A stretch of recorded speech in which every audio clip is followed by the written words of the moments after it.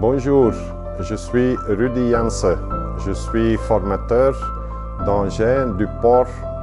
Je travaille pour euh, Global Port Training et maintenant je suis ici pour former le formateur du RTG. Je suis formateur d'engin du port. Je travaille au DMP, formateur et formateur en CRC. Actuellement, je suis ici pour former les futurs opérateurs de SGTD. J'ai candidaté pour être un RTGman, un opérateur.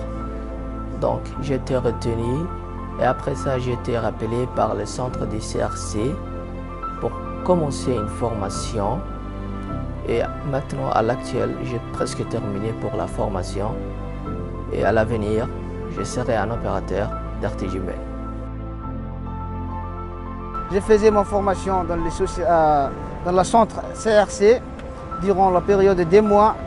D'après cette formation, Alhamdulillah aujourd'hui, cela fait quatre mois que je travaille dans les, dans les sociétés GTD en tant qu'opérateur.